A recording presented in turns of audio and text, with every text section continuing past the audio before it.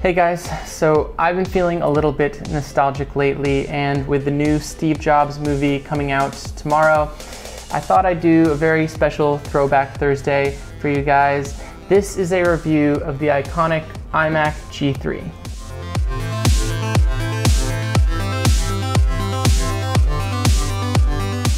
Now the G3 is one of the most memorable computer designs ever. It was released in a time when personal computers hadn't yet become a permanent fixture in our homes, and Apple aimed to change that. The idea was that by making the computer more friendly and visually appealing, Apple could more effectively uh, penetrate uh, the home market.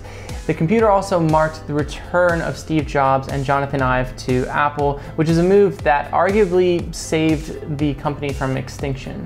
Uh, right here, I've got the 1998 version of the iMac G3 in a nice rose gold.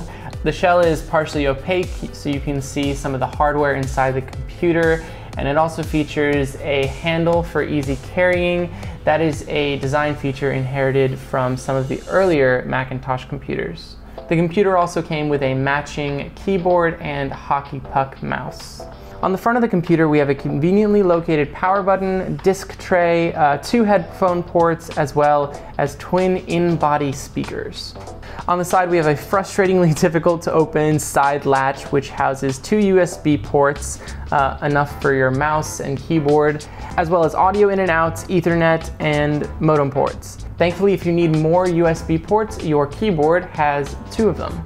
Now let's talk specs. This model has a 266 megahertz, that's mega, not giga, uh, processor, 64 megabytes of RAM, and a 6 gigabyte hard drive. To put things in perspective, my current Apple-made desktop has a 2.7 gigahertz processor, 64 gigabytes of RAM, and 1 terabyte of hard disk space.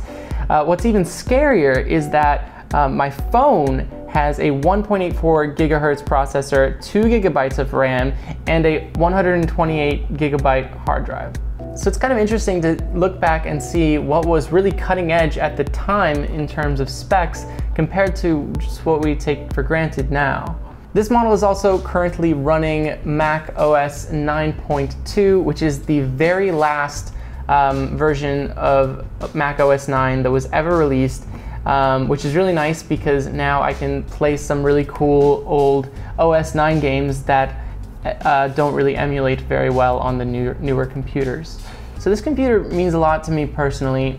It was the first machine to run programs like iMovie, and I think it represents a turning point and a realization for me that technology exists to unlock human potential. This thing is a tool, um, a tool that at the time really only existed in office settings, and Apple played a big role in bringing it into our homes. So let me know what you think, guys. Is this just a piece of old junk or is it something special? Um, let me know in the comments. I'm gonna answer every question I get in the first two days that this video is up. Uh, if you're new to this channel, definitely subscribe and I will keep you up to date with all sorts of new fun stuff. Thanks again for watching, guys, and I'll see you next time.